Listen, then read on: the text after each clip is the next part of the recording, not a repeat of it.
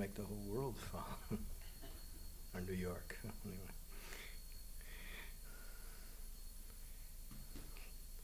Yeah.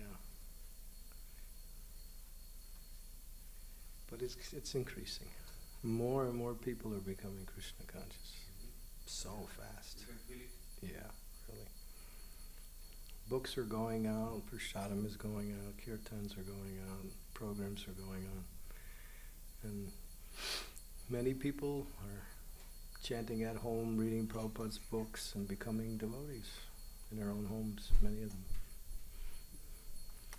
Temples, we're not so many in the temples, but in the congregation it's growing very fast, very fast. And more in Europe or America? Uh, more in Europe. More in Europe? Asia, India is India is really becoming followers of you know the Hare Krishna. followers would be there in the world? In the world, it's really hard to say. But we're doing these programs called Bhakti Vriksha now, and hundreds and hundreds of people every week are taking part in learning the philosophy and chanting the holy names. It's really hard to say. R- number of devotees that are actually initiated, over, I don't know, it's hard to say, 50, mm, 50,000, 60,000. But Russia alone has over 100,000 participants in Krishna consciousness. Russia is the largest uh, Western country outside of India for Krishna consciousness. Really expanding fast. than uh, Europe and America. Yeah, much more. Double, easy, easy double. Russia, they have such a taste for them for Krishna consciousness. Do you think that the restaurant is making a lot of difference? Big difference. Because Krishna Prashadam is the way to wake people up to spiritual life. They take Krishna Prashadam, then they begin their Krishna consciousness. Go to the to the restaurant. Yeah. There's a story where Prabhupada was sitting in one room in Mexico and he was 10 devotees and he was talking about the glories of Prashadam and he was saying, I think all of you have become devotees because of Prashad. And then he went around, yes, Prabhupada, yes, Prabhupada. So Prashadam, yeah, it's our secret weapon because it works without you knowing it. So Prabhupada wanted, he wanted city temples, restaurants for every city temple, and he wanted farm communities to grow food and supply milk, vegetables, and grains to the city temples for the restaurants and for the devotees. And that's how he wanted his society to develop. He said, You bring nice, homegrown, fresh vegetables, milk, bring them to the restaurants, we make nice prasadam, people become devotees. Like that. So he wanted farm communities for each city temple, and then restaurants for every city temple. Like that. He actually spoke on that. So that was his big plan. So we still have to get the farm communities together. That's our slow pot. Temples, restaurants are coming everywhere, but farm communities are slow because it's very difficult. But it's it's called the fourth phase of Prabhupada's movement. First was book distribution, Harinam. Second was temple opening temples, establishing deities. Third was making people from every place in the world initiated followers of Krishna, Vaish- Vaishnavas. And the fourth phase was Varnashram, city, uh, farm communities, simple living, cows, land, like that. So that's the, of course, we're doing that, but it's got a long way to go yet. So, but in the cities, yeah, people are becoming more and more attracted, mostly because of book distribution. Book distribution, America is really increasing on book distribution. So is the rest of the world. Distribution remains the number one way to reach people. Book distribution, Harinam, Prashad. Like that. And of course, nice deity worship. When they come to see the deities, they become attracted to Krishna. So here, you're in a good place. You know, you can reach so many people here. So many people. I was just coming in just walking, and it was, you know, people are walking on the streets from the night before. They're still out, you know. And they saw the Harinam, so they're, you know, they're jumping up and down to the Harinam, and while they were just coming out of the bars, you know.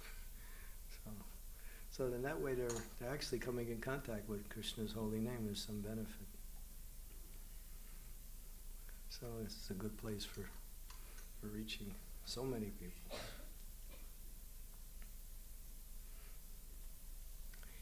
But Lord Chaitanya said, every town and village. It's happening, but it's happening from some so many ways. From the top, from the sides, from the middle, coming in this different ways.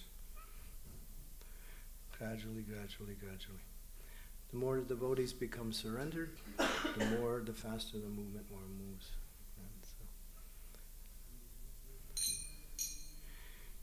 And, Maya is helping us too by making life difficult for the materialists. She's making it very difficult for people to find satisfaction in material life.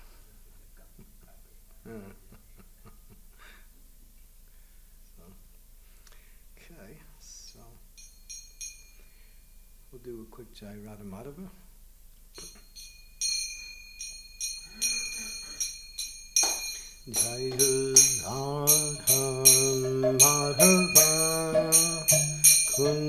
धिहा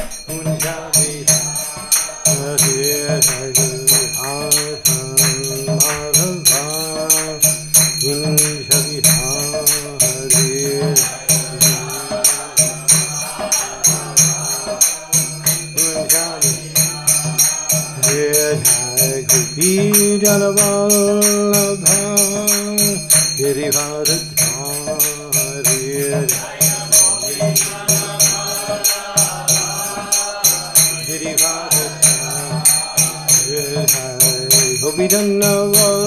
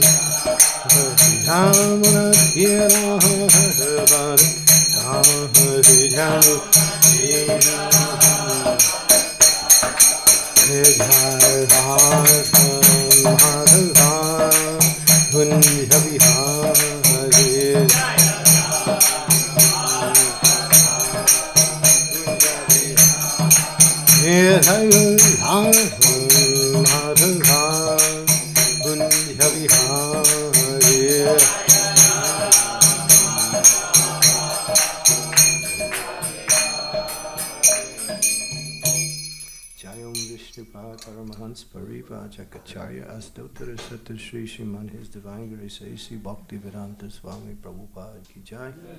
Raj Grantha Srimad Bhagavatam Ki Jai. Sri Chaitanya Charitamrita Ki Jai. Sri Harinam Sankirtan Ki Jai. Krishna Das Kaviraj Goswami Maharaj Ki Jai. Gaur Premanande. Glories to the assembled devotees, glories to the assembled devotees, all glories to the assembled devotees, glories to Sri Guru and Sri Gauranga, Srila Prabhupada Ki Jai. Hare Krishna Mahamantra Ki Jai. Hare Krishna. Hare Krishna. So, we're reading from Sri Chaitanya Charitamrita, Madhya Lila, chapter 19. Chapter is entitled The Lord Instructs Srila Rupa Goswami. This is text 206. And this is actually a Srimad Bhagavatam verse, actually. So it's the Bhagavatam.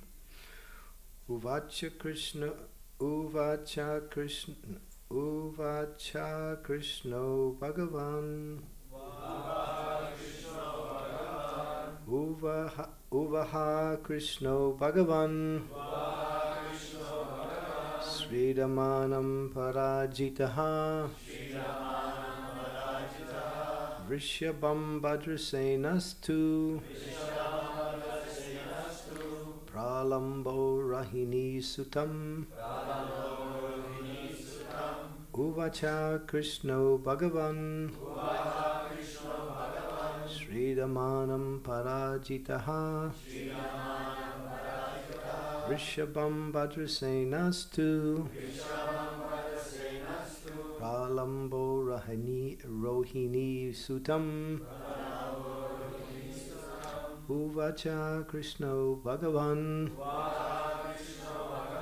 Sridamanam Parajitaha.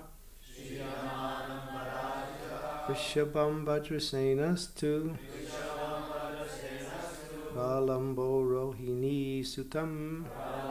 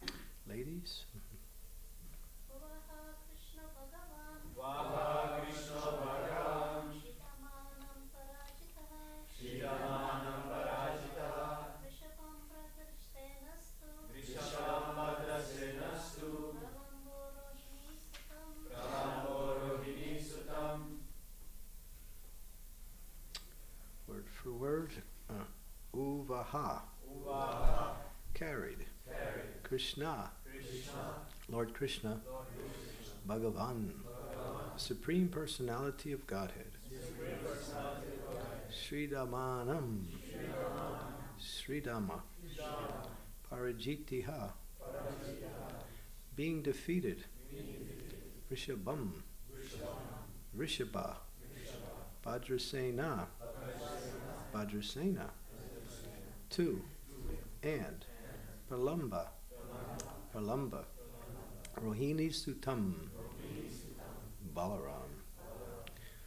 Translation When Krishna was defeated by Sridama, he had to carry him on his shoulders. Similarly, Bhadrasena carried Rishabha, and Pralamba carried Balaram, the son of Rohini. Purport by Srila Prabhupada. This verse is from Srimad Bhagavatam 10, 18, 24. When all the cowherd boys were playing in the forest of Vrindavan, the demon Pralambasura appeared in order to kidnap Krishna and Balaram. The Asura appeared disguised as the form of a cowherd boy, but Krishna could understand his trick. Krishna therefore divided all the cowherd boys into two parties. One party belonged to Balaram, and the other party belonged to Krishna himself. Ultimately, Krishna was defeated in this play, and according to the wager, the defeated party had to carry the victorious party on their shoulders. Krishna had to carry Sridama on his shoulders, and Bhadrasena had to carry Rishabha. The demon, Pralambasura, had to carry Balaram, and when Balaram mounted his shoulders, the demon ran far away. Finally, the demon began to expand his body to a gigantic size, Balaram understood that he intended to kill him. Balaram immediately struck the demon's head with his strong fist, and the demon fell down dead. Haribol! As if he were a snake whose head had been smashed. Hare Krishna, devotees like that. Om Agyanti Mirandasya Gina Jana Salakaya Chaksu Unmilitam Nena Tasmai Shri Gurave Namaha Shri Chaitanya Manovistam Staptitam Yena Bhutale Swayam Rupa Kadam Mayam Dadanti Swapadantikam Jai Shri Krishna Chaitanya Prabhu Nityananda Sri Advaita Gadadha Sri Vasadi Gaur Bhakta Vrinda Hare Krishna Hare Krishna Krishna Krishna Hare Hare Hare Rama Hare Rama Rama Rama Hare Hare The name Krishna, his transcendental forms, his qualities and his all his pastimes are completely on the spiritual and transcendental level. They have nothing to do with anything of this material world. Although they appear from ordinary vision as the play of young boys or something fantastic that has simply been created out of someone's imagination. It is only due to the four fund of knowledge that one cannot reach the transcendental platform with limited senses, mind, and intelligence. Atashi Krishna Namadi Nabavedrayam Indriya Sevamukhi Jivado Swayam Eva Spurat Yada. Only when the senses and mind become engaged in chanting the holy names of the Lord can one purify themselves from all material contamination. These pastimes of the Lord are the Lord's eternal activities. They're not to be understood simply by philosophical speculation, mental gymnastics, material calculations, or even the imagination. Because the nature of transcendence is that it's achintya. Achintya means it's inconceivable. Although, when we hear about it and we read about it, it appears to be quite ordinary, or a little extraordinary, a little bit beyond the ordinary, but at the same time, it's not in that way. The activities of the Lord and the activities of the materialist are considered to both be of the nature of metal. But one is gold and the other one is base, ordinary iron. Although you might say both are metal, therefore they're the same, but at the same time they're different because you know, metal or iron is simply very easily available and is very base, and people don't even take much interest in it. But gold is very valuable, and it's kept in a very special place. Jai Shri Sri Radha Londonishvara ki, Jagannath Baladev Subhadra Maharani ki, Shri Sri Gaurnitai ki jai. Giri Govardhan ki jai. So, therefore, one cannot understand these pastimes simply by mental speculation or simply by reading them. One has to purify their heart through the process of chanting the holy names. Because as the heart becomes purified through the chanting of the holy names, then one awakens one's transcendental knowledge or vision. Therefore, what we should we need to do is continue to hear. As we continue to hear about these pastimes, by the power of the mercy of the holy name and by the by the mercy of the great soul, one starts to understand a little bit. But what is the initial understanding? The initial understanding is I can't understand. Why? Because everything Krishna does in the spiritual, because these pastors are, are in the spiritual world, and then they also come down to this world. When Krishna comes to this world to perform his leelas in Sri Vrindavan Dham, he brings the whole spiritual world with him. And the only difference between the pastimes in the spiritual world and the pastimes that he manifests in this material world is one is eternally manifested and one is intermittently manifested. One is called prakrat and one is called aprakat. That is He manifested and unmanifested. There's no difference. So when Krishna came to this material world, he say he performed these same pastimes that he performs in the spiritual world. But there is a great difference. There's no demons in the spiritual world. But in order to give excitement to Krishna's pastimes in the spiritual world, some of his devotees take the form of demons and act in that way just to ex- excite people into his transcendental pastimes. Because demons don't exist in, in the spiritual world, because you know you have to be a pure devotee, transcendentally fixed in loving devotional service to Krishna in order to achieve the spiritual world. But sometimes, in order to give excitement to the whole mood of Leela, these, these pastimes manifest themselves in the spiritual world, and devotees play the part of demons. What we're hearing here is, in, is the uppercut, or what comes down to this level. Those who, pastimes that Krishna performs in the material world in Sri Vrindavan Dham. Now, Sri Vrindavan Dham in the material world, little tract of land in a place called India, 32 miles square, is a replica of the spiritual world. When you go to Vrindavan, you see what thing appears to be just like the landscape of India, or maybe slightly different because there's more temples. But everything looks the same. There's rickshaws, you know, there's motor cars, there's dust, there's pigs, there's dogs, there's, you know, beggars, there's, you know, so many things. It's all happening there, but that is not the Dham. That is what's happening on the external level of the Dham. The Dham is something else. It's manifested only to the vision of those who have pure, loving devotion to the Lord. Transcendental loving service to the Lord allows one to actually experience, at least to some degree, Krishna's Leela, his name, his forms, and his qual- qualities. There's one story when one man heard about Vrindavan. He was actually a, a great scholar from Germany. He wanted to come and learn about, he heard that this is the most spiritual place in the world, Sri Vrindavan He had some connection with Krishna consciousness. So he came, he, wound up into Mathura, took a rickshaw from Mathura, starting to head into Sri Vrindavan Dham. As he was going into Vrindavan Dham, he was seeing the landscape with all the ordinary activities that people perform. And then he was seeing the dirt and the pigs and the, the stool in the streets and so many other things. He was thinking, this is a very holy place. So he actually, when he came into Vrindavan, he became so much overwhelmed simply by the external environments, became unhappy what he saw, and then turned around and left. And Prabhupada talks about this. He never actually entered into Vrindavan.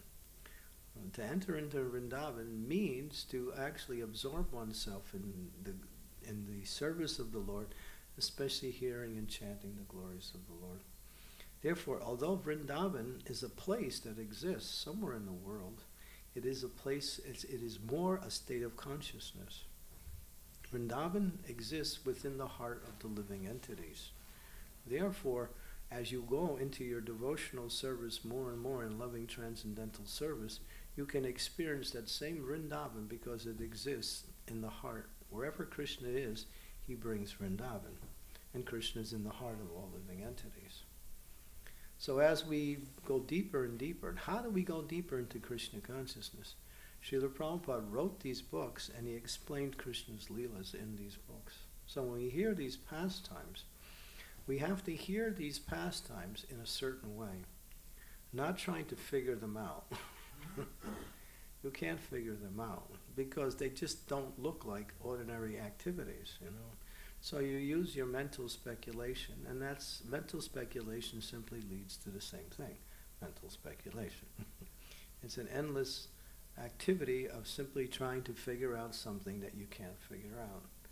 It's like if you never met your father, say you were born and your father left before, you know, right at the time you were born, you never met your father. You're trying to figure out what your father was like. So you can't. You can think this way, you think that. But if you really want to get some advice, at least get an understanding, then you can ask your mother. And she'll give you as much as you. But if you actually meet your father, then you understand everything. So mother is the scripture giving us the direction to understand Father of Krishna.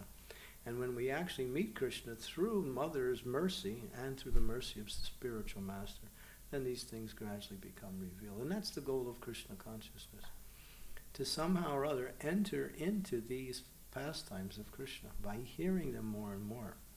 And they're so wonderful. This beautiful pastime here indicates many, many wonderful points that devotees should know in the process of Krishna consciousness. Srila Bhakti Siddhanta Saraswati takes some of these pastimes of Krishna and gives a commentary on how what are the actual leelas in terms of how we can purify ourselves from material contamination. Pralambasura represents frivolous activities and the attraction for the opposite sex in, in, in an illicit way. Not in an illicit way, but in, the, Ill, in the wrong way. This demon was killed by Balaram. There was only two demons in Vrindavan that were killed by Balaram. Dhenukasura and Pralambasura. Balaram represents the eternal spiritual master. It is says that if you want to get rid of the anarthas in the heart, those things that keep us locked into material consciousness, such as lust, anger, greed, illusion, pride, and of course, envy, all these things make our life miserable because they are the disease of material life and therefore they're everywhere. They're inside, and they're also everywhere within the atmosphere, especially in London, obviously. so, therefore, in order to get to be able to understand Krishna's pastimes, the process is a process of purification of the heart. So the process, of course, is to hear about these pastimes more and more in a mood of submission with a trying to understand taking the commentaries and the instructions of the spiritual teachers as a guide for understanding. This is called seeing with knowledge. You can't, seeing with eyes means not seeing. the eyes are limited, and the eyes are just little tiny balls, that's all. They require sunlight in order to give illumination to vision. They can't see with your eyes. And what do we see with our eyes? We see very limited, and everyone has eyes, but everyone sees the same thing differently. so, what is the value of seeing? And sometimes people say, "Show me God," or "Show me." The... What are you going to see? Prabhupada, even if I even if I did show you, you wouldn't understand. you have to see by knowledge, and knowledge leads. Knowledge has two parts to it: gyan and vigyan. Gyan means that knowledge that comes by theoretical exposure. When you come in contact with something in a theoretical way, that is called gyan. So you get some knowledge by hearing, like that. But then when you practice Krishna consciousness and you continue to hear more and more, that knowledge starts to transmute into a higher form of itself called vigyan. and that is vig- vigyan means vishishta. That it's called intensification of knowledge. In a practical terminology, it means that you realize the knowledge. It's no longer a matter of theory; it is actually an experience. So you can experience these pastimes. How are we getting these pastimes? What is available? Chaitanya Mahaprabhu is instructing Rupa Goswami. Rupa Goswami is writing down these, these the philosophy and also the leelas. Okay, so in these writings, he is actually transmitting the pure sound vibration coming from the Lord Himself. But there's a higher stage of that transmission. It's called the actual experience of the pastimes. What is that experience? That, that there's different levels of absorption. It's like you remember something, and then you become absorbed in something, and then you become fully absorbed in something, and then you reach what is called samadhi, or complete absorption, where there is no external awareness of anything except the object you're absorbing on, absorbed on. So that is the, the stage of pure consciousness. So when one reaches the stage of re- pure consciousness through the process of chanting no holy names, they become absorbed in Krishna's pastimes. So these these leelas that were, were being written down by the great souls are actually their own absorption in Krishna's leelas. We have the story of Srila Rupa Goswami, where he was in meditation. Sanatan Goswami, actually, Sanatan Goswami had written something that uh, Radharani's beautiful braided hair, which flows down her back, he used the analogy it's like a black snake. So Rupa Goswami didn't like that analogy to compare her hair to a black snake. He didn't say anything, but in his mind he was somewhat doubting that kind that analogy to be a good analogy for. her. So one day he saw, he was in Vrindavan and he saw these girls playing, young girls playing, and there was, and then he looked and he saw, he thought he saw a snake crawling up the back of one of the girls. So he said, "Snake, snake, snake!" He started to warn him, and they all turned around and started laughing, and then they all disappeared. So Radharani gave him a little mercy. Those girls was Radharani and her friends, and that snake he thought he saw was the braid coming down her hair from her head. And so then he realized, oh, oh yeah, Radharani's braid is actually a beautiful black snake. so he liked the analogy. So he got the mercy. He actually went into a trance of vision and, and seeing this. So that's not for the ordinary persons, but only for people who are fully absorbed can they come to that stage of realizing or experiencing and seeing Krishna's transcendental Leela. Prabhupada would sometimes Prabhupada would say, you know, someone probably would ask, people would ask Prabhupada, have you seen Krishna? Prabhupada said, if I told you, would you believe me? that was one of his answers. Because if you tell somebody something, they can believe it or not believe it. So if you're going to ask me the question, you better believe my answer. so that's the. So Prabhupada said, "There's never been a time where I never was not seeing Krishna." And then he would, he also described seeing Krishna means like I'm seeing you and you're seeing me. That's seeing Krishna. That's seeing Krishna face to face. For a Paramahansa, or for one who on the highest platform of devotional service, is seeing Krishna like that.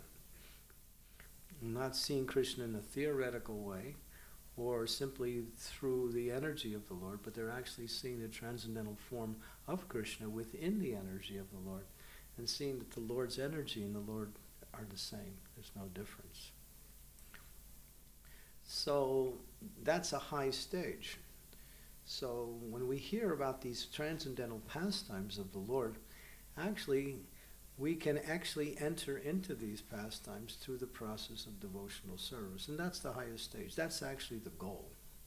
The goal is to hear and chant the glories of the Lord and engage in practical devotional service, purify the heart. And the more you hear about Krishna's pastimes, the more you get attracted to Krishna's pastimes. That's the idea. Just keep hearing. Sometimes we say, Well, I have no taste. Taste comes by it is sweet. Krishna is sweet. His pastimes, his names, his forms, his qualities, it's all very, very sweet. Sweet is a word we use because we can't find anything better. But actually, it's beyond that.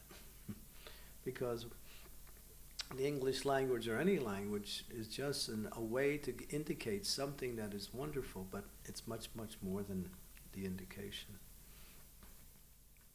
So as we continue to hear, then the attraction starts to develop because it's natural.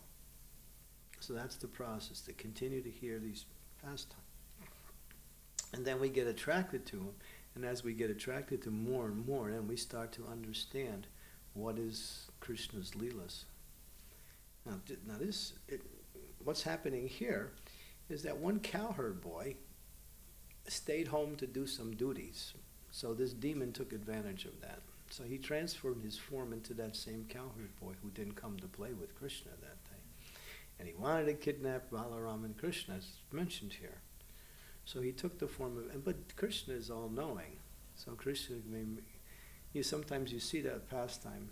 You ever seen that, that little play called Little Krishna?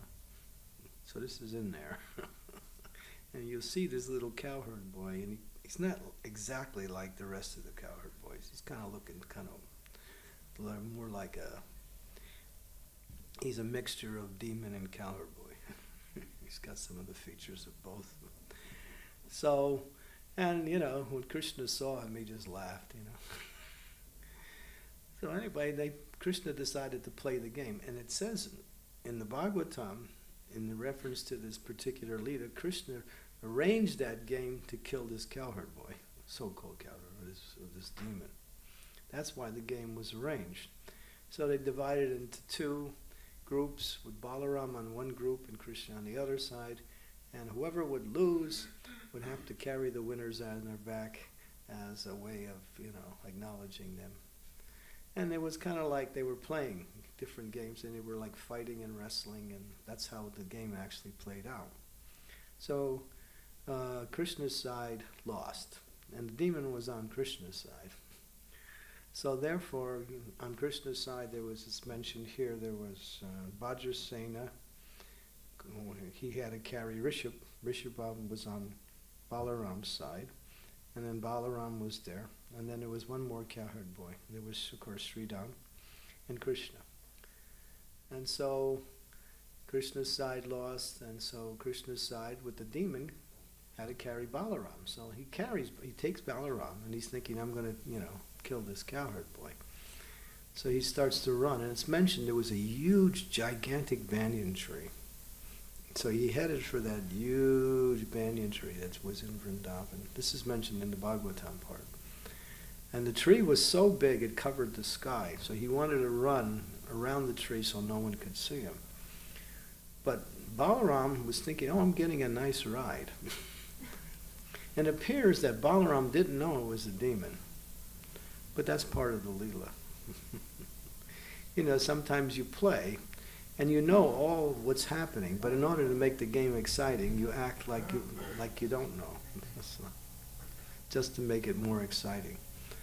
So Balaram was doing that. And finally, the, the demon decided to expand himself into his actual demoniac form. And he became this huge, monstrous demon with fiery looking eyes and black hair, copper face. It was horrible. Big teeth. Says his teeth was reaching up to his forehead. You know, it's described in Srimad Bhagavatam. You, know, you can't find a movie like this. You know, it's just like, uh, on you know, they can't copy Krishna's leelas. They might try. so and then Balaram, realizing it was a demon, he just started to get heavy. He just became more and more heavy.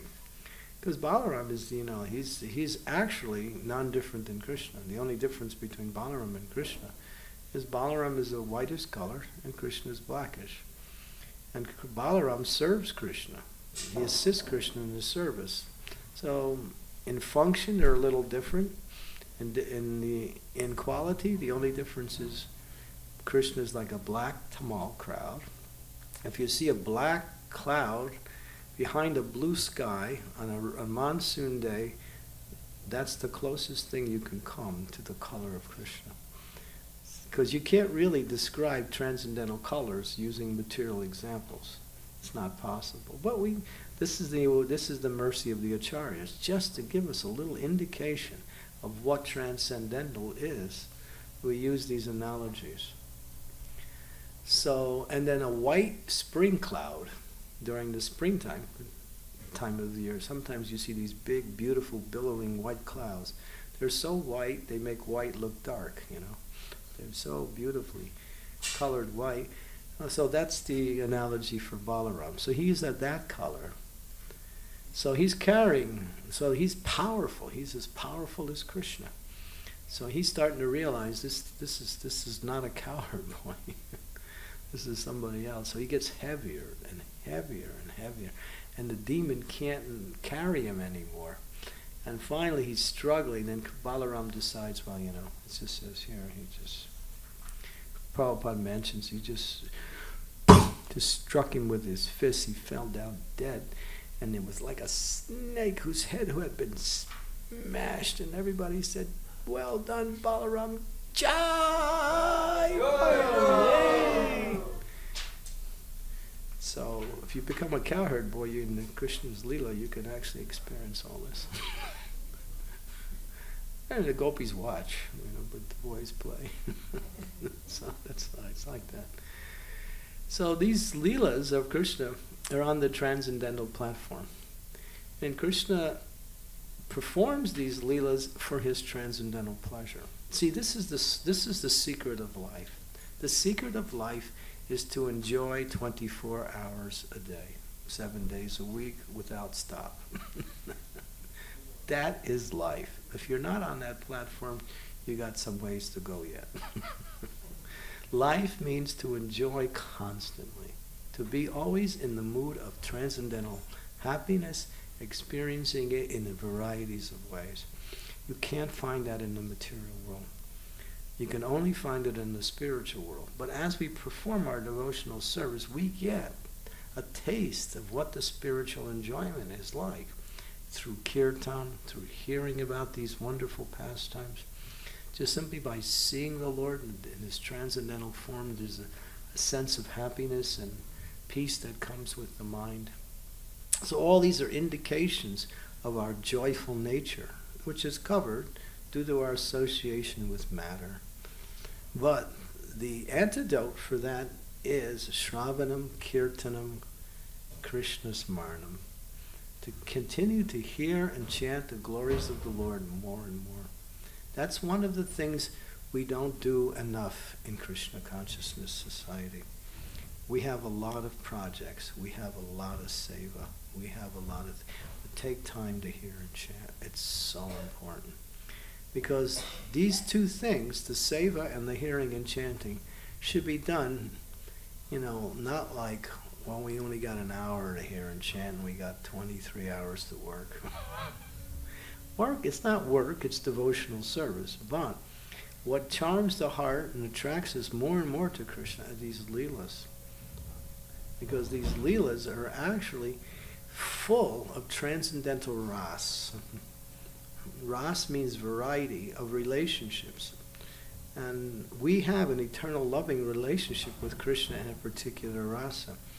So through the chanting of the holy names and through the through hearing more and more about Krishna's pastimes, Lord Chaitanya's pastimes, Lord Ram's pastimes, even the Nrisimhadev's pastimes, gradually the heart starts to gravitate towards attraction to the Lord in these transcendental forms.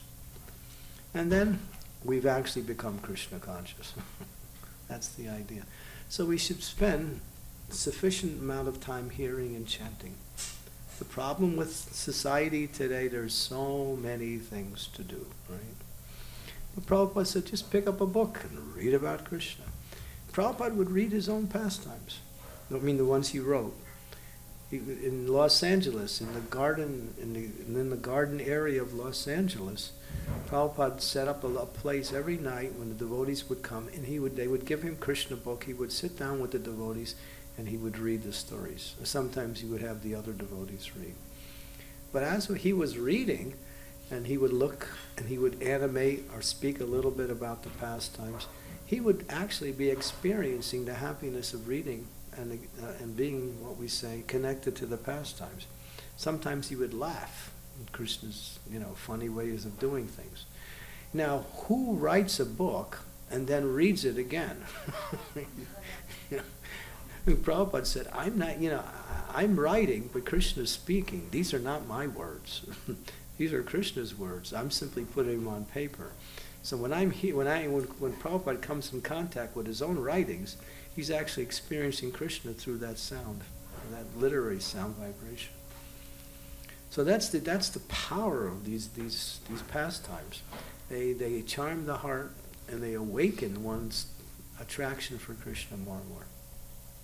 And that's the idea. The more you get attracted to Krishna, the more you leave the material world behind. And that's the goal. We can get attracted to Krishna in many ways, but the essence is to hear and chant his pastimes, and his glories, like that. This pastime also has a deep meaning. As I uh, kind of diverted away from one point that I started to make earlier, there's only two demons that Balaram killed, and that was Dhenukasura and Pralambasura. The rest were killed by Krishna. Balaram represents the spiritual master. The spiritual master gives you the tools to practice Krishna consciousness. But there is two two anarthas that are not destroyed simply by the process of devotional service alone. You have to make a conscious endeavor to destroy these two. And these are the two demons that represent these two anarthas. One is Dhenukasura. Dhenukasura, we know that pastime. The cowherd boy said to Krishna, Hey, Krishna, there's a nice forest. It's like so many nice fruit trees there, and there's the sweetest fruits around. But it's Kamsa's forest, and he's put this demon called Dhenukasura, and he's in the form of an ass, and we can't get in there. We want those fruits. Krishna wants to please his devotees. So he goes, along with Balaram. Balaram comes and they walk in the forest, and these big trees, big tall trees, and there's these really tal fruits. You ever have a tal fruit? Anybody? It's really a nice fruit. You know, you have to get it. Yeah, it did. Yeah, in India. Right? It's nice, isn't it? It's sweet. It's a really sweet fruit. And so it was owned by Kamsa and guarded by this demon. So Balaram, he just walks in, shakes a few trees, gets some tal fruit, and he's just, you know, having, you know, some snack. And he's snacking away on these fruits, and then this demon, you know, Dana Dhenukasura says, Who's this guy? He's coming into Kamsa's forest. He can't do that. So he runs at Balaram full speed. Balaram's just eating the fruit. And he kicks him right in the chest with all his might. And Balaram just, uh, something happened? No, no, he keeps eating the fruit. it's like it never happened, you know. So this demon again decides he, he just goes back and again he, with full speed he just runs at Balaram, boom, hits him again. Balaram, all right, you're disturbing my fruit eating now. This is becoming a problem. So he just grabs the demon and goes, and just threw him up in the tree. And he hit the tree and it just knocked the tree and all the fruits and all the cowherd boys said, Jai! Balaram, we got fruit because he couldn't, they couldn't reach the fruits. So all these fruits fell down. And then uh, all the other, and, ba, and, and the demon was killed simply by the whirling of Balaram. Throwing up the tree was just to get rid of him. But it's just, you know, he was just centrifugal force, you know, finished him off. And, uh, and then Krishna and all the cowherd boys were just eating fruits. And then all of friends, there were another ad, a whole bunch of asses came. It was the ass ass program at the club, and they all came and they started to charge at Krishna and Balaram, and one by one, Krishna and Balaram just started. Ca- and throwing him up in the trees. And all the trees were lined up with all these big asses sitting in the trees, and all the tr- all the asses were of different colors, so it looked like a beautiful panoramic sight, you know. Because when Krishna does something, it has to look aesthetically nice too, even even though he's killing some demons. So, and uh, so those demons were finished, and all the boys said, "Jai, thank you, we got some nice fruits." and then they come home and they tell their mothers about Krishna and Balaram killing the demons, and their mothers say, "It must have been Narayan who came," because their mothers don't believe their sons. How can these little boys kill these powerful demons? It was Narayan's blessing, that's all. Because they don't know. The mood of Vrindavan is no one knows that Krishna is actually God. He's simply the sweetest and most lovable boy in Vrindavan. And that's the mood of Vrindavan. They don't worship him as the supreme, they worship him because he's who he is, all attractive. So Pralambasura, so Dhenukasura represents working hard for material things. It's called the ass, right? We know what an ass does, right? You put weight on his back, you hang a carrot in front of his face. He doesn't want to move because he's so lazy. So you hang the carrot there, and then you say, Mr. Donkey, here's Prashad. And oh, very nice. Oh, and he's walking. So he's carrying the load right now, and he's walking like this. And he, you have to, all you have to do is keep dangling the carrot. the donkey does the rest. And then finally, you know, he could stop and eat some grass along the way, but he's so stupid because he thinks that if I just keep moving forward, I'll get that carrot. It's coming closer, right? If I just keep going in my material life, things will get better. I'll get that, whatever I'm looking for. It'll happen soon. but it keeps moving. it's just donkey life. So finally, when the you washerman gets to his goal, and then he then he sometimes he just takes the carrot and eats it himself. he might give it to the donkey. So this is material life, just simply working hard for material enjoyment like that. So the spiritual master teaches you, you don't have to do that. Just just serve Krishna, and Krishna will take care of you. Krishna will simply take care of you. Why? Krishna takes care of everybody. Krishna's taking care of his even the materialists by giving them whatever they need. But for his devotee, if devotee engages in devotional service, Krishna provides everything automatically without any problems because he wants to re- reciprocate his devotee. He doesn't put his devotee in need at the same time the devotee is trying to serve the Lord. He may arrange something, some difficulty just to purify us, but he always takes care of our needs. It's guaranteed. So, therefore, the spiritual master teaches this principle serve Krishna, Krishna, everything will come. And people think, no, no, I got to work hard, 8 to 5, and then 6 to 10, two jobs, on the weekend, three, part time, part time, full time, three quarter time, double time, overtime, no more time, time's out, you're out, you're finished, you come home, ah, I want to sleep. I worked hard today. Yeah, thank you, Mr. Donkey. Working hard. So. I remember I was out on Sankirtan one time, and you know, you uh, know, it's, you know, sometimes you meet people who are a little hostile. So one guy said to me, "Get a job." I said, "I retired, 25. I retired at 25." no, nothing's coming in, nothing's going out. Social Security's closed. so, and, you know, I was thinking, I didn't say anything to him. I just said, you know, I retired at 25. I was thinking, why should I work like a fool like you? Yeah, people are, you know, misery loves company, right? if you're if you're miserable, that's one thing. If you're miserable alone, that's really miserable. But if you're miserable with somebody else, it's not so bad. It's still miserable. you can look at each other and just, you know, enjoy your misery together. they say misery loves company, right? Because it may somehow mitigates them. So everyone's doing something miserable because everyone else is doing it, and it's not so miserable because everybody else is as miserable as I am. So therefore, it's not so miserable.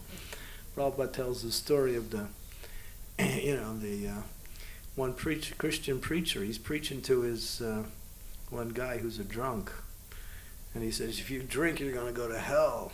He says, "My father drinks." He said, "He'll go to hell too." My brother drinks. He'll go to hell too. My mother, she's also a drunkard. Yeah, they're all going to go to hell. He said, he said, really? Said, good. We'll all be in hell together. That's great. the whole family's together again. it's not so bad. so this is material life. The devotees know that simply by serving Krishna and hearing about the glories of Krishna, one, Krishna will take care of everything, and one can uh, actually pursue the goal of life. So, Dhenukasura. And Pralambasura means attraction for the opposite sex in an illicit way. In an illicit way, in an, in an immoral way. And therefore, these two demons represent two factors of anarthas that has to be destroyed by one's own endeavor. This is the difference between the, the, demons that Krishna killed and the demons that Balaram killed. The spiritual master gives the knowledge, and he's the representative of Balaram. So you take that knowledge and you have to work at these two things. These two things come by your own efforts. You have to rid yourself of these simply by knowledge and by distancing yourself from these types of activities. Whereas the anarthas that come by way that are Krishna killed, the demons that Krishna killed that represent different anarthas, that if you stay in the process of devotional service, the process itself will purify you from that. But the ones that Balaram killed means that you you stay in the process, but you have to make a conscious effort to avoid and to eliminate these two types of demons, Dhenukasura and Pralambasura. And that's the only two demons that Balaram killed. So it's a beautiful pastime. It has, you know, spiritual significance, and at the same time, it's transcendentally pleasing. Because when Krishna kills demons, devotees enjoy. Right? There's a class of people who like to hear Krishna's pastimes. They only want to hear Krishna's pastimes with the gopis. They don't want to hear about the pastimes of Krishna killing demons because it's not so exciting as the transcendental leelas with the gopis. But Prabhupada said, when Krishna kills the demons, everyone says, Jai! Let's have a picnic. In fact, Krishna and his friends would play every day, and they would just forget about eating. So, therefore, it was arranged by, what we say, Purnamasi or Maya Devi, transcendental Maya, the yoga maya, that the demons would come when the kids were, when it was time for them to eat. Because little kids don't like to eat, right? They just like to play. Mothers know that, right? You want to eat? No, I'm too busy playing. Come on and eat. I ate yesterday. When am I thinking? I'd eat again today. you know, little kids don't like to eat. It's only when you grow up you get these habits. so they want to play, right? So Krishna is the same. So he was playing with his friends, and then after some time, you know, they're not eating. So the demon would come, and then Krishna would kill the demon, and they would get hungry right after that, and then they would stop the playing, and then then they have something to eat. So that was arranged so they could get something to eat. That's when the demons would come just to finish their playing for a while. yeah, that's mentioned by I think Vishwanath Chakravarti Thakur in one commentary on, on these pastimes. Okay, it's a beautiful pastime. Um, the one in the Bhagavatam goes on for at least 10 verses or more with nice purports in the 10th canto, so please read this wonderful pastime. And take time to read and hear Krishna's pastimes, Lord Chaitanya's past. Lord Chaitanya is Krishna and Radharani together. So if you're hearing Gaur Leela, you're also hearing Krishna Leela. There's no difference between Gaur Leela and Krishna Leela. Okay. Any questions or comments? Yes, uh, Hare Krishna.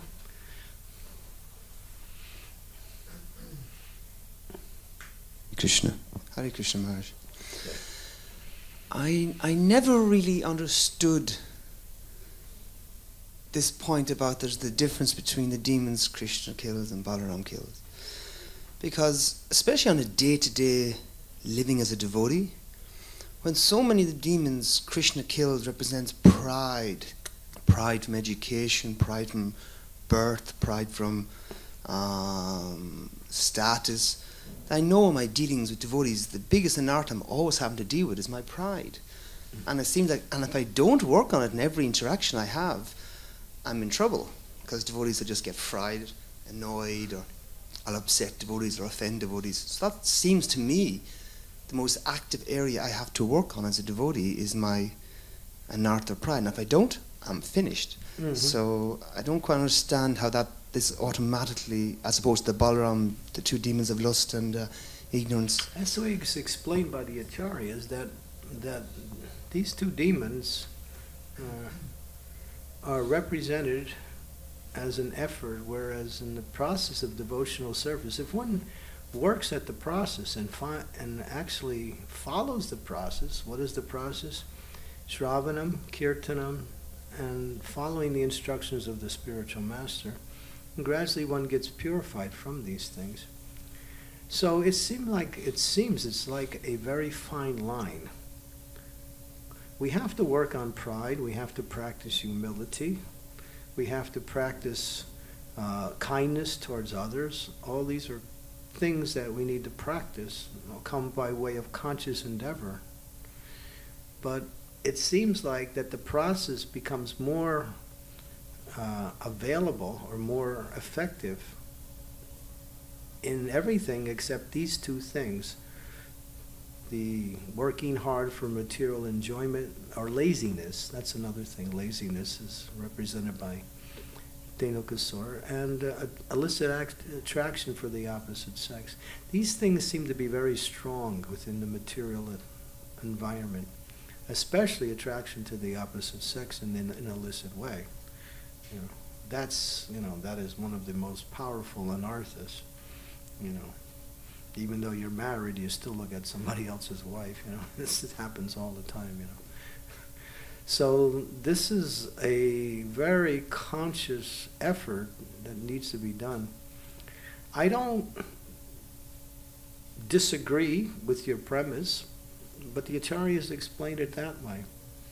And in my own experience, I also, you know, what, what's the word? I also empathize, or when we say experience the same thing, that I have to work on things. And the more you focus and work on things, even these things that are outside, these two demons representing, the more you become what we say successful. So, but that's that's the commentary by the Acharya, especially Bhakti Siddhanta because he mentions these demons and then the different anarthas. I never understood it completely either, to give you an exam, to give you an understanding. But I just accept it because the acharyas explain it. There's something about these two anarthas that are that are outstanding that one has to work on. It's probably has to be done more consciously or more continuously. I would say you would have you'd have to re, uh, take that question again and ask it to various devotees and see what kind of answers you get. But I will go back and do a little studying based on your question now and see what I can find. If I come up with something solid, I'll I'll send it to you. Thank you. Any other questions, Mataji? Yes. Thank you. Thank you.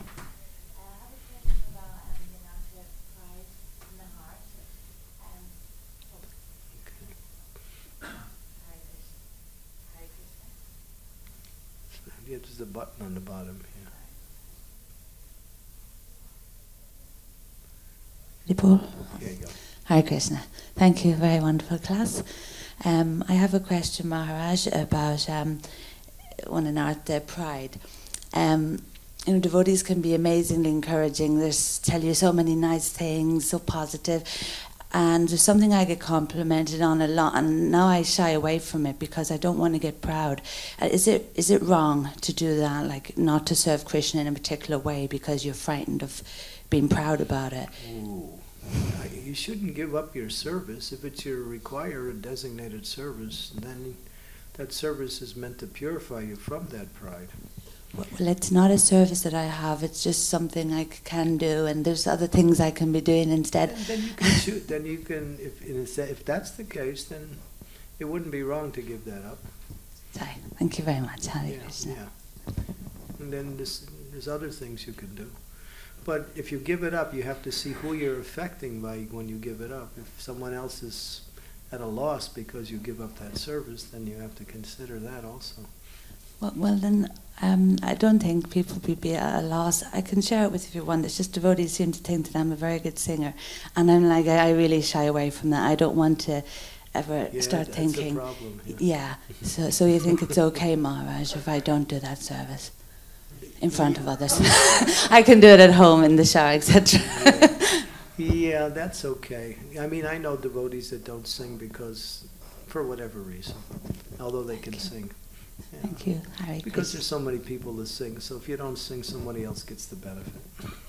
Yeah, thank so- you.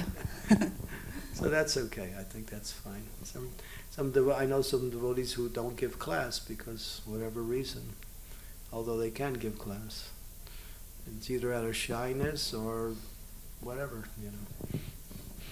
And, and so, Thank you. Very good answer. Wonderful. okay. Yes. Any other questions? Yes, over there.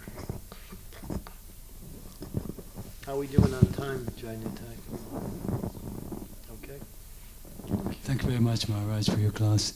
Just uh, one question. Earlier on, you mentioned about we're hearing, and uh, that's gyan, and then when you put it into practice, that's vigyan.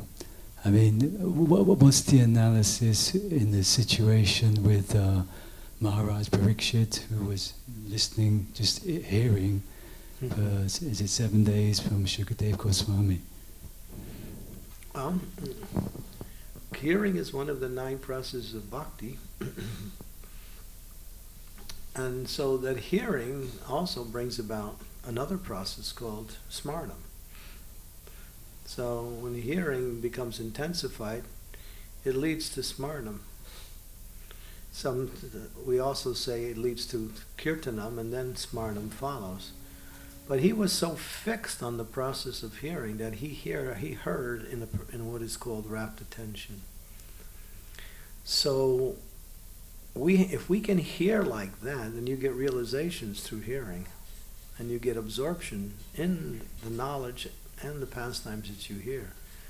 So he perfected the hearing process. we hear, but we may not hear in a perfect way. They say goes in one ear and out the other. this the story of that in called in the, the Bhagavat Mahatmya, where one ghost, what was his name? Gokarna was the speaker. It was the Bhagavat Saptaha.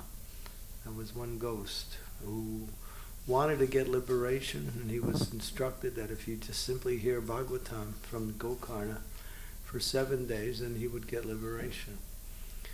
So he absorbed himself so much in hearing in his ghostly body that when he left the day to day session, he was thinking about what he heard all the way until the next session.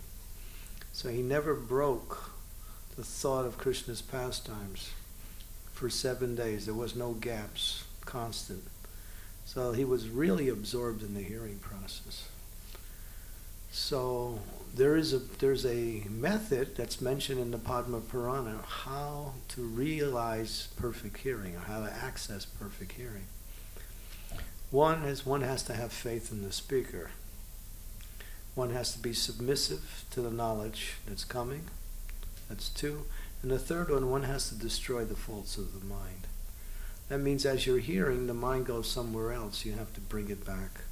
And constantly do that until you're absorbed in the sound. And when you're absorbed in the sound, then you have reached the process of hearing. And hearing, in that way, brings about two reactions or two results. One is questions, two realizations. If you're if you're not getting either hear realizations or questions based on what you're hearing, that means you have to work on the hearing process. If you're absorbed in hearing, questions will come up or you'll get realizations based on your hearing. So that's that's from Padma Puran like that. So so Maharaj Pariksit was so absorbed in hearing that uh, he inspired uh, Sukadev Goswami to speak like that.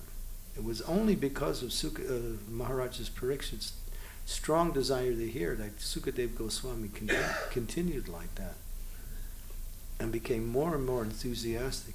And that's true in the general principle. The more eager the audience is hearing, the more the speaker becomes empowered to speak. The speaker may, it may be empowered, but his empowerment increases due to the audience attentiveness and desire to hear. It becomes more like that. So it's not coming from one side, it's two sides. So therefore, when Sukadev Goswami had finished nine cantos, he said to Maharaj Pariksit, you want a break? you want a little water? You're not taking no food and what? And Maharaj Pariksit, said, I've been waiting for, this is what I'm waiting for, the 10th canto. Please continue. Sukadev Goswami became twice as enthusiastic and began the 10th canto of Bhagavatam. So there was no break. It was only because of Maharaj Parikshit's strong desire to hear. And he was already a great devotee. It wasn't like he was just a neophyte. He wasn't on the perfectional platform, but he was already fixed in Krishna consciousness. Thank you very, thank you very much, Maharaj. Thank Thank, you. you. Hare Krishna. Question in the back there. Hare Krishna. Um, I just wanted, you mentioned that to go deeper in Krishna consciousness, we need to uh, have to hear More Krishna's more. pastimes. Yeah. So um, when there is a Bhagavatam class, for example, and uh, when we read a verse, and then we kind of from from the lila, and then um, start explaining the verse, then we're going into details. We discuss various aspects of it, Mhm. and uh, give examples, things like that. So is this also considered as hearing pastimes? Buryantas parasparam katyatas chamam nityam tushyanti cha ramanti cha. So Bhagavad Gita says, the thoughts of my pure devotees dwell in me, their lives are surrendered to me, and they derive great pleasure and, what is the other word? Satisfaction in hearing about me. So hearing and discussing Krishna's pastimes is part of the process of hearing, yeah. And it's a process of going deeper. And Prabhupada made same statements in that. He said this is what we should be doing in our temple, Bodhiantas Parasparam. Regularly discussing Krishna's Leelas, Lord Chaitanya's pastimes like that. He says you take a verse, he says you can see it from many different angles. Hmm. That's why the acharyas sometimes even differ about the conclusions or the different understandings of the same verse because you know they have different realizations and therefore they're getting each realization is correct although it may be different. So that's the nature of transcendental knowledge. It's unlimitedly full of knowledge. It's not static. You know we can speak on the same Bhakti Siddhanta Saraswati spoke on the first verse of Srimad Bhagavatam for two months continuously without covering the same points each day. He was going from one point to another. Yeah, so that's part of the hearing process, to hear and discuss the pastimes of the Lord like that. More and more like that. And that's that's what really brings nectar and start churning these pastimes and you can understand things more and more. You know. And we have so much knowledge available. I mean, some of the pastimes, some of the pastimes that we hear about, we get a little understanding of what's happening. But when we hear from the acharyas or discuss it, more and more, more and more things come out. You know. I'm trying to think of an example. You know, just like. I mean, the meaning of the verse, uh, Sarva Dharma Parityajya Mam Ekam Saranam Vrajam, that has unlimited meaning. So we just take the words based on what you hear, but if you start discussing, what does it mean, that verse? There's so many commentaries and discussions simply on that verse. So,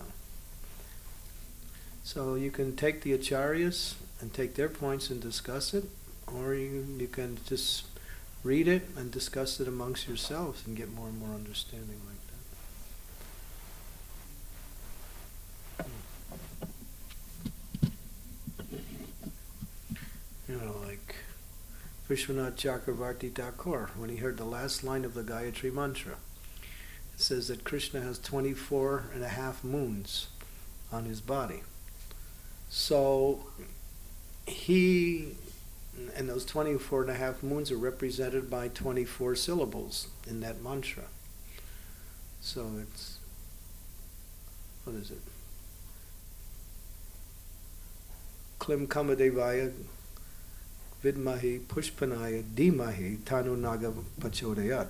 So there's a 24 and a half moons are mentioned in that last line of the Gayatri Mantra.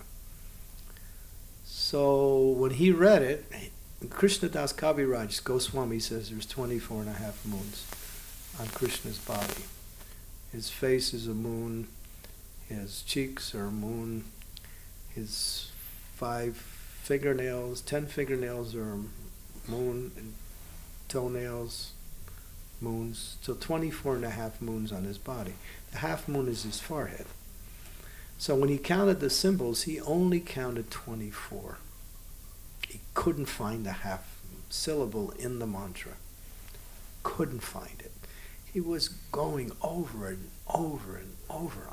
Krishna Das Kaviraj Goswami is a great acharya. He doesn't make mistakes. I can only find 24 symbols, syllables. He says there's 24 and a half. He fasted, trying to figure it out. Finally, he decided, if I can't fa- I can't understand this verse, if I don't have this knowledge, I'll never understand this verse. He decided to fast to death. Just to figure out this verse.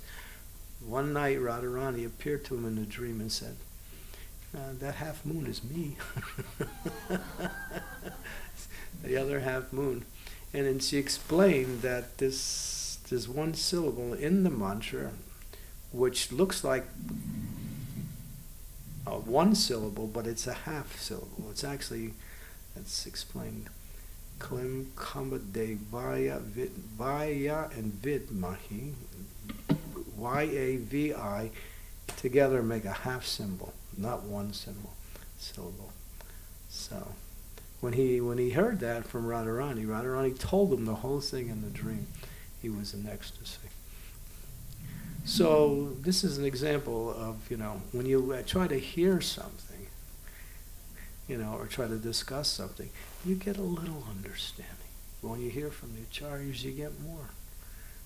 It's unlimited. You could take this verse and discuss this verse all day, and you still wouldn't be finished with the understanding. That's the nature of transcendental knowledge. Does that answer your question? I just um, there's kind of a, for, me in my mind there's kind of a difference between tattva and rasa. So Ah. when we're hearing tattva, Yeah, there is. There is a strong difference. So um, Bhagavatam class for me it's more like more tattvic. It's supposed to be. Supposed to be, yeah. So do we Sometimes get? we get into the rasika there. We get into the cowherds rasa today a little bit. And It should be mostly tattva. Yeah. Because without tattva, you can't understand rasa. Mhm. There's no way. But, you know, we mention rasa in relationship to tattva. And that's why when you when we talk, we have to speak both. I mean, some people just talk rasa, and you know, sometimes that becomes cheap, and they have a large following. They call them sahajas. But Prabhupada blended tattva and rasa in his presentations, but mostly it's tattva. Like that. So the question is, So the question is basically when we hear only tattva, does it considered as hearing Krishna's pastimes, basically? So that's more like the question. So if because what what uh, Maharaj Parikshit was hearing is mostly the rasa, wasn't it? both. Was it both? Yeah, because the Bhagavatam contains both tattva, and then the rasas are also there in the leelas. Yeah. Mm. Well, there's basically the rasas are are five main ones, but then again that breaks down to another seven secondary rasas. So there's twelve rasas. But in the five main ones, you know, Vaikuntha, which is most of Bhagavatam, is in the ras- rasa of, of simply servitorship, yeah, with a little bit of awe and reverence also. So the first two rasas are covered in mostly in Vaikuntha friendship, parental love, and uh, conjugal love are only in Vrindavan. There is some friendship in Vaikuntha, but it's a different kind of friendship that it is than it is in, in Vrindavan. So you got two and a half rasas in Vaikuntha, and you got the all five rasas in Vrindavan, like that. So when you speak about Vrindavan in the relationship to Tattva, you can't not mention rasa, uh, rasa also. We're, we're, we're talking about Sakhya Ras here. The boys are playing. They're playing with Krishna, but they're not seeing Krishna as the supreme personality of Godhead. They're seeing him as, as their, one of their best friends, like that. So there's where the tattva comes, the rasa comes in. Like that. And the, how that rasa plays it out is in their in the sub rasas. There's the secondary rasas which enhances the first the, the primary rasas. And sometimes they laugh and joke, especially cowherd boys. They're always joking and laughing like that. So that's hasya ras.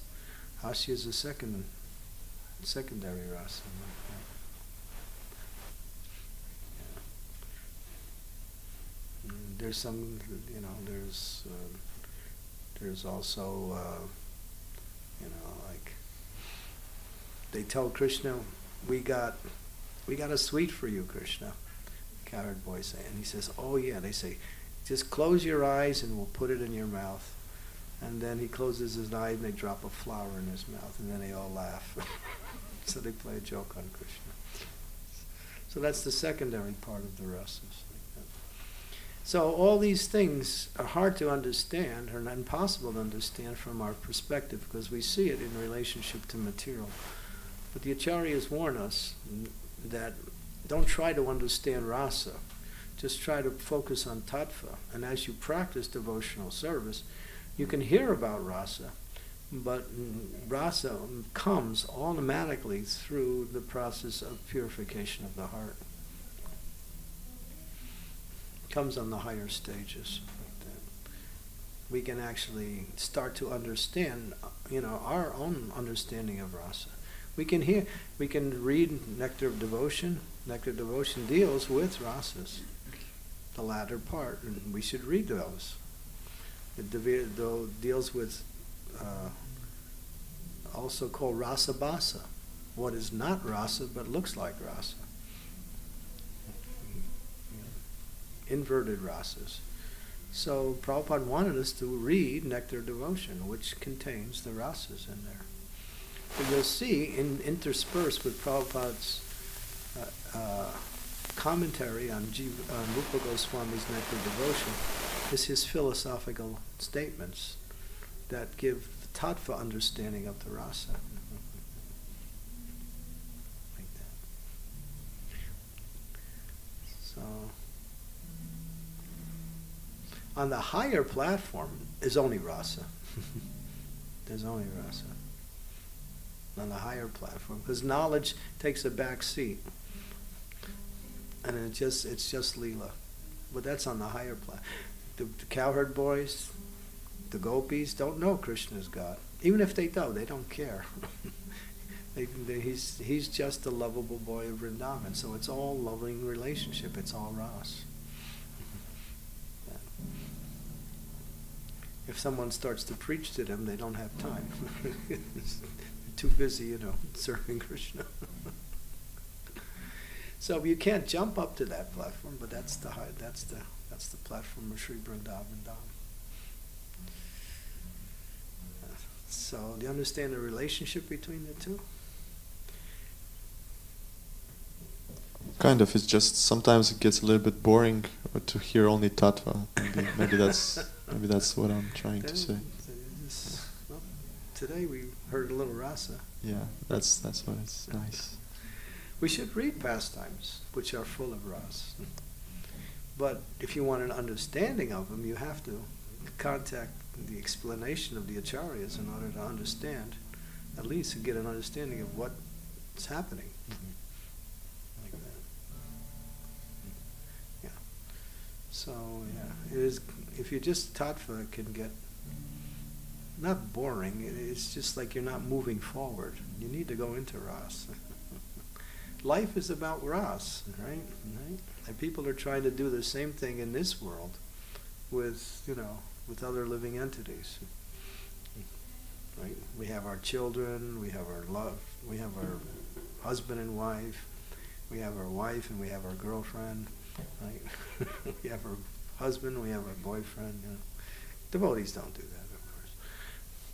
But you know, outside people do all the time. They, you know, they have this thing.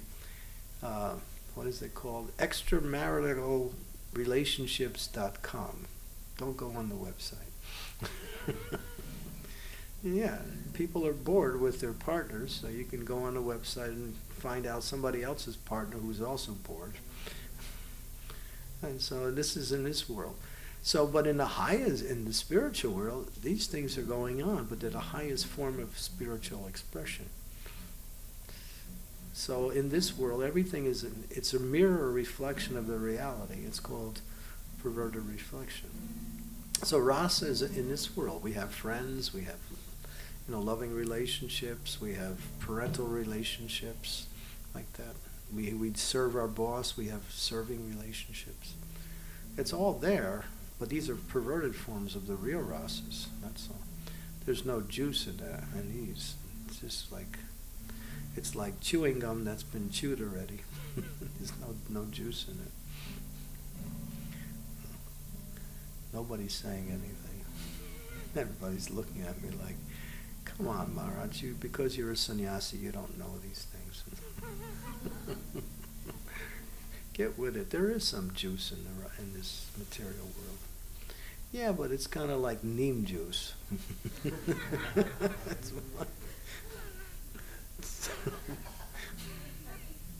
It's kind of hard to swallow.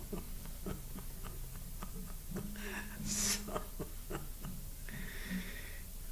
you know, wherever the beehive is, there's the, there's also the bees.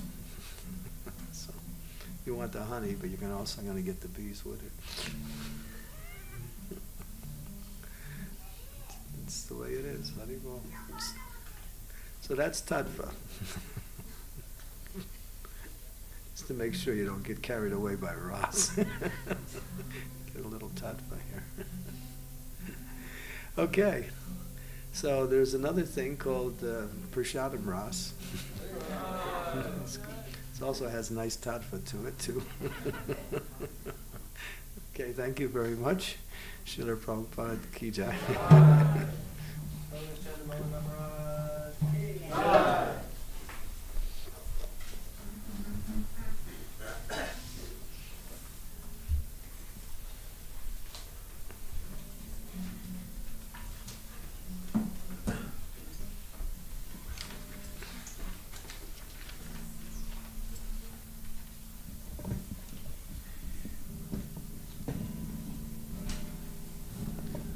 Thank you very much, Marge, for coming and giving us your association, inspiring us with the tattva and the rasa,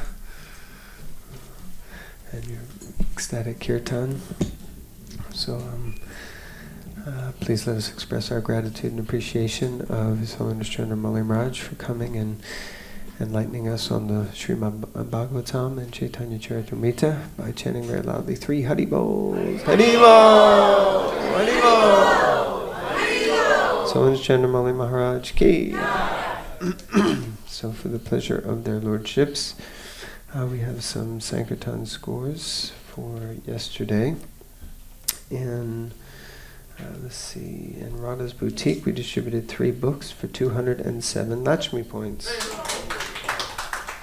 And in Govinda's restaurant, we distributed prasadam to at least 274 customers for a total of 2,451 Lakshmi points. uh, Sankirtan devotees are on traveling Sankirtan at the moment, uh, down in Southend-on-Sea. And uh, but yesterday, Baba Bhakti's Minty group uh, collected 41 Lakshmi, distributed 24 medium books, two Maha Big books for 16 book points. And uh, I think that's it. So the scores. So we'll offer our prayer to their lordships. Uh, but we also need some volunteers uh, for breakfast serving this morning. Any volunteers who can help with that service? Okay, and volunteers who can help clean up the temple room after breakfast? Okay, wonderful. All right, so we'll offer our prayer to their lordships. Do Shishi Radha Londonishvara, Jagannath Baladev and Subhadra, Sri Sri Gaurnitai, and Giri Govardhan. We offer our most respectful obeisances unto you. With a mood of deep gratitude and appreciation, we request your causeless mercy upon us. For your pleasure, if you so desire, we wish to erect a holy place of your transcendental pastimes that will attract unlimited souls to your service and fulfill the vision of your pure devotee Srila Prabhupada for London. Please enable us to cooperate together in order to satisfy you in this way. We, your surrendered servants, humbly beg. New Temple for the Lordships, Ki Jai, Srila Prabhupada, Ki Jai. So if everyone could please help with the prasadam chain, then we can bring the prasadam up and get on with the day's activities. Reminder, today's Sunday feast lecture will be given by Bhakta Michael Prabhu, and um, we'll start around 4.30. Hare Krishna, Srila Prabhupada Ki Jai.